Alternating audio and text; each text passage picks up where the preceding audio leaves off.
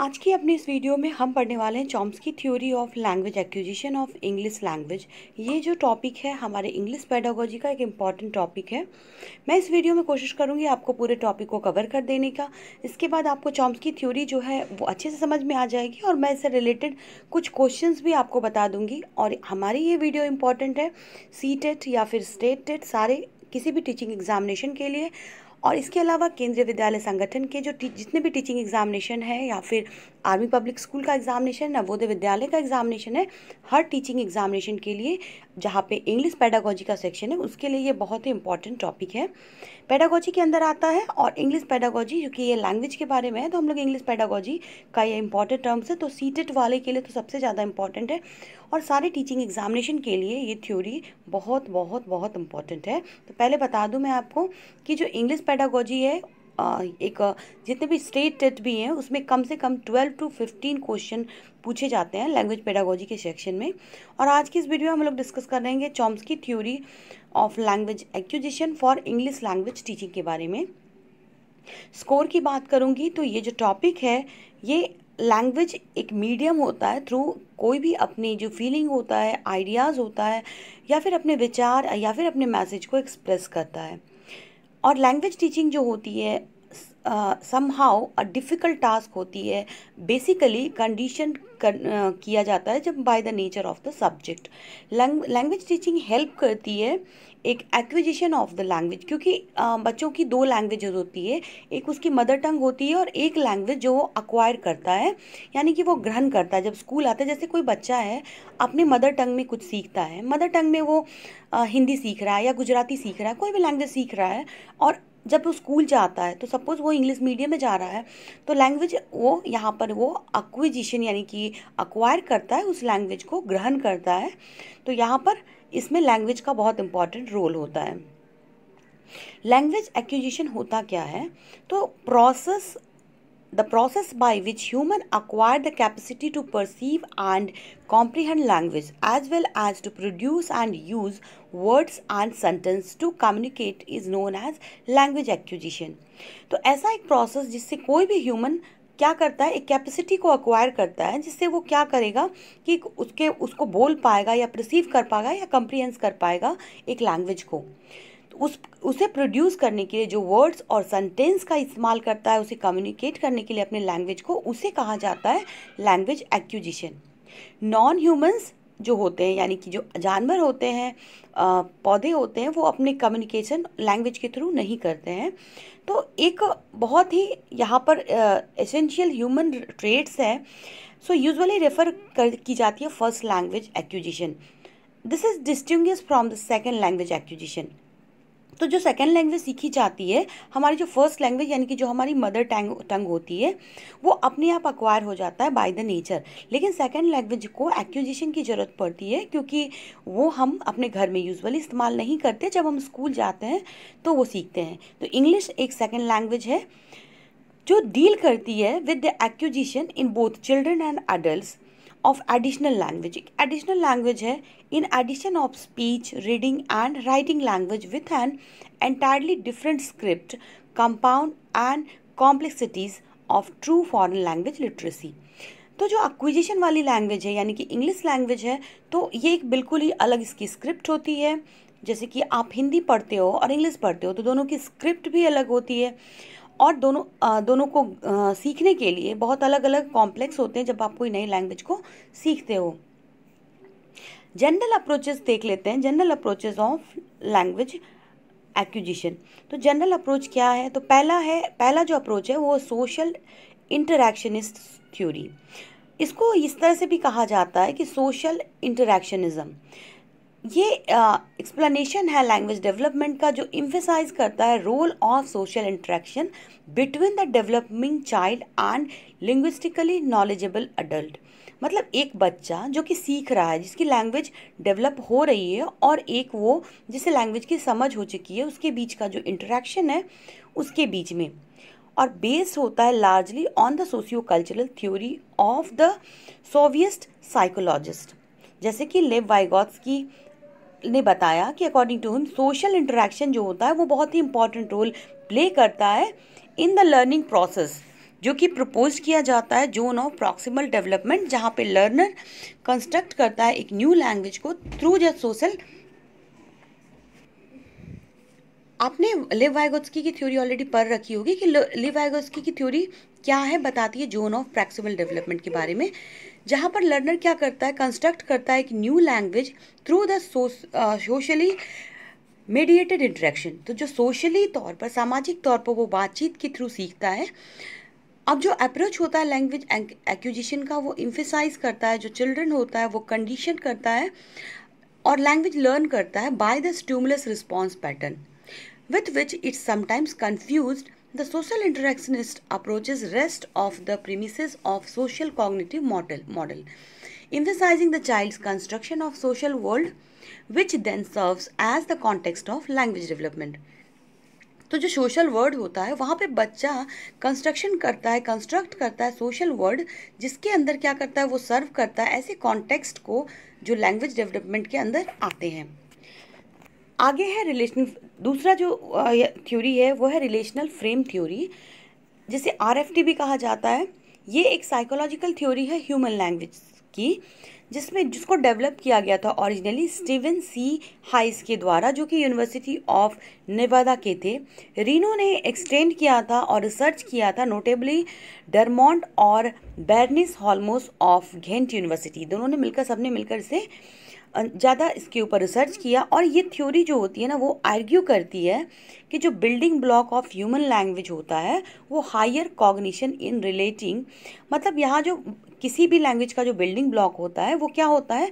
Higher cognition in relating with the human ability to create bidirectional links between things मतलब किस तरह से एक बच्चा या फिर एक ह्यूमन दो चीज़ों को लिंक करता है, ये उस पर डिपेंड करता है कि वो लैंग्वेज कैसे और किस तरह से सीख रहा है।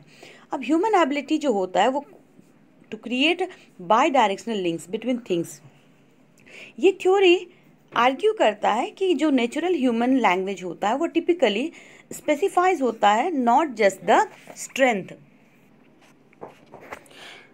तो ये थ्योरी ये भी बताती है कि जो लैंग्वेज होता है वो टिपिकली स्पेसिफाई होता है not just the strength of link between stimuli but also the type of relationship as well as dimension along with they are not to be related और ये फोकस करता है कि जो ह्यूमंस होते हैं वो एक लैंग्वेज को कैसे लर्न करते हैं मतलब कि कम्युनिकेशन कम्युनिकेशन कैसी है उस हिसाब से लैंग्वेज लर्न होती है through the interaction with the environment and is based on philosophical approaches referred to as functional contextualism अगला जो टर्म है वो है इमरजेंट एमरजेंटिज्म अब एमरजेंटिज्म क्या है? ये बिलीव करता है एमरजेंस की ऊपर। मतलब जो होल एक greater than the sum of the parts जो पूरा जो उस, उसका मानना है कि जो पूरी चीज़ें हैं, उसी का एक छोटा सा पार्ट है। मतलब कि meaning whole has properties its part do not have मतलब जो पूरे की जो एक प्रॉपर्टी होती है, वो एक पार्ट में वो प्रॉपर्टी नहीं आ सकती। ऐसा ये, ऐसी ये थ्योरी का ये टॉपिक मानता है।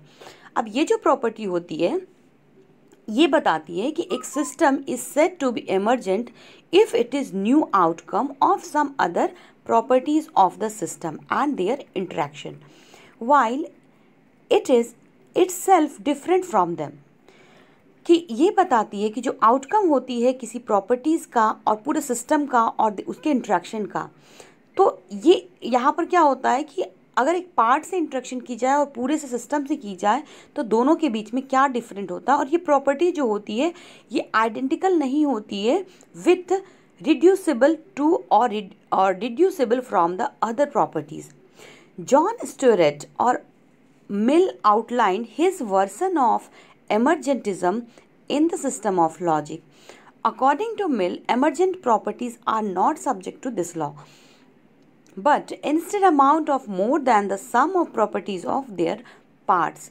तो मिल का मानना था कि एमरजेंट प्रॉपर्टी जो होती है, वो कोई सब्जेक्ट नहीं है इस लॉ के लिए बट उसकी जगह पर जो अमाउंट है, वो बहुत ज़्यादा है जो sum of properties of their parts के। नाउ लैंग्वेज एक्विजिशन डिवाइस यानी कि एल आपने नाम सुना होगा लैंग्वेज एक्विजिशन डिवाइस का। ये क्या है? एक हाइपोथेटिकल मॉड्यूल है ह्यूमन माइंड का। Human mind positive to account for children's in it predisposition of for language acquisition. So, it was first proposed by Noam Chomsky तो नॉम चॉम्स्की ने पहली बार इसे प्रपोज किया था एल को, यानी कि लैंग्वेज एक्विजिशन डिवाइस को। तो आपको वन मार्क्स की क्वेश्चन हमेशा पूछी जाती है, किसने लैंग्वेज एक्विजिशन डिवाइस को के बारे में बताया था तो पहली बार बात करी थी किसने? नॉम चॉम्स्की ने। तो आप ये नाम बिल्कुल याद रखना, आप ये क्वेश्चन बार बार आता है। He was the American linguistic कौन थे ये? अमेरिकन लिंग्विस्टिक थे फिलोसफर थे कॉग्निटिव साइंटिस्ट थे हिस्टोरियन और social critic he is also known as the father of modern linguistics के नाम से भी इन्हें जाना जाता है। और he is the also a major figure of analytic philosophy and one of the founder of the field of cognitive science तो एक बहुत फाउंडर थे कॉग्नेटिव साइंस के भी इनको माना जाता है। और एल का जो कॉन्सेप्ट है is an instinctive mental capacity which enables the an infant to acquire and produce language एक छोटा बच्चा, यानी कि नवजात बच्चा, किस तरह से अक्वायर करता है और प्रोड्यूस करता है, यानी कि डिलीवर करता है एक लैंग्वेज को, ये थ्योरी असर्ट्स करती है that humans are born with instinct और innate facility for acquiring language तो थ्योरी का ये मानना है कि जो ह्यूमन होता है, वो वो जन्म से, यानी पैदाइशी लैंग्वेज को ग्रहण करने की जो क्षमता होती है, उसमें बच्चे में ऑलरेडी होती है. It is a component of the nativist theory of language nativist theory is a view that certain skill और एबिलिटी आर नेटिव और hardwired into the brain at birth तो ये ऐसा मानता है कि एक कंपोनेंट होती है जो नेटिविस्ट थ्योरी ऑफ़ लैंग्वेज मानती है कि जो एक स्किल होती है, जो एबिलिटी होती है, जो नेटिव और हार्ड वियर्ड हमारे जो बच्चों के ब्रेन होती है, उसमें होती है। And this is in contrast to empiricism the blank state of tabula rasa black state जिसको माना जाता है खाली जो माना जाता है खाली स्लेट होता है या फिर तबुला रासा जिसे कहा जाता है जो स्टेट करता है कि जो ब्रेन होती है has inborn capacity to learning from the environment but does not contain content such as innate beliefs तो ब्रेन जो होता है वो ऑलरेडी इस हिसाब से सिस्टमाइज होता है। इस टाइप से कैपेसिटी uh, उसकी होती है कि वो इन्वायरमेंट से लैंग्वेज को अक्वायर कर लेता है और ग्रहण कर लेता है। कुछ इंपॉर्टेंट क्वेश्चन जो रिलेटेड है चॉम्स की थ्योरी ऑफ़ लैंग्वेज एक्विजिशन से। तो पहला क्वेश्चन है कि who propose the relational frame theory of language acquisition तो relational frame theory of psychological theory है ह्यूमन लैंग्वेज की, जिसको डेवलप किया था स्टीवन सी हाइस ने। और रिलेशनल फ्रेम थ्योरी आर्ग्यू करती है कि जो बिल्डिंग ब्लॉक्स होते हैं ह्यूमन लैंग्वेज और हायर कॉग्निशन दोनों रिलेट करते हैं आपस में। मतलब जो एक बिल्डिंग ब्लॉक लैंग्वेज का है और ह्यूमन लैंग्वेज वो हायर कॉग्निशन मतलब कहने का ये मतलब है कि जिस तरह से आप सोचते हो और सीखते हो, वो आपके थिंकिंग लेवल यानी कॉग्निशन लेवल को बढ़ाती है। और human ability to create bidirectional links between things मतलब दो चीज़ों के बीच में लिंक करना और उसको जोड़ के फिर लैंग्वेज डेवलप करना, ये ह्यूमन की एबिलिटी होती है। क्वेश्चन नंबर टू है according to language acquisition theory when there is a lack of sufficient information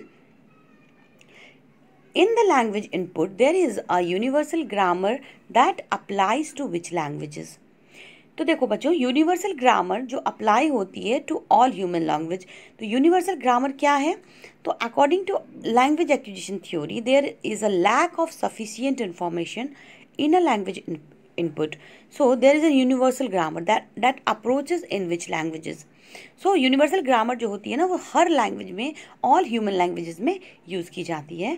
What do mean by language acquisition तो language acquisition is the process in which humans acquire the capacity to perceive and comprehend language as well as to produce and use words and sentences to communicate. तो language acquisition का मतलब होता है कि language acquisition एक process है जिससे human acquire करता है उस कैपेसिटी को जिससे वो लैंग्वेज को प्रसीव और कंप्रीहेंड कर सकता है ऐसी जो लैंग्वेज की कैपेसिटी है एक्वायर करने की इसे प्रोड्यूस करता है अपने वर्ड्स को बनाने में और सेंटेंस को कम्युनिकेट करने में। Question number four what does language acquisition refer language acquisition क्या रेफर करता है? So language acquisition refers to the process of learning a native और a second language because of innate capacity of the human brain ये जो होता है language acquisition का आ, मतलब ये होता है हम लोग सेकेंड लैंग्वेज क्यों पढ़ते हैं? कि हमारा जो ब्रेन होता है वो ऑलरेडी उसके अंदर कैपेसिटी होती है इननेट कैपेसिटी होती है ह्यूमन ब्रेन की कि वो अपनी जो एक मदर टंग है यानी कि जो फ़र्स्ट लैंग्वेज है उसके अलावा भी लैंग्वेज एक उसको सीखने की उसके अंदर कैपेसिटी होती है। Question number five when does language acquisition occur तो लैंग्वेज एक्विजिशन कब होता है, किस अवस्था में होता है? तो language acquisition occurs only when the child has exposure to the language तो लैंग्वेज एक्विजिशन तभी होगा जब एक बच्चा जो होता है, एक नई लैंग्वेज के साथ एक्सपोजर उसे मिलता है तो ये लैंग्वेज एक्विजिशन होता है एक बच्चे में।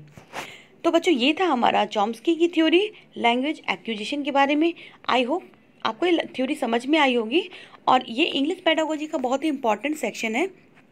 जिसके जो पेडागोजी का section twelve to fifteen marks के सी टेट में और दूसरे भी टेट एग्ज़ाम में पूछे जाते हैं और ये टॉपिक इंपॉर्टेंट है आपके K V S N V S army public school और जितने भी टीचिंग एग्जामिनेशन सभी के लिए ये टॉपिक इंपॉर्टेंट है। इंग्लिश पेडागोजी सेक्शन के अंदर आता है। कोई भी डाउट है तो कमेंट सेक्शन में आप पूछ सकते हो और अगर फ्यूचर में आप किस तरह के टॉपिक्स की वीडियो चाहते हो, वो भी आप कमेंट में लिखोगे।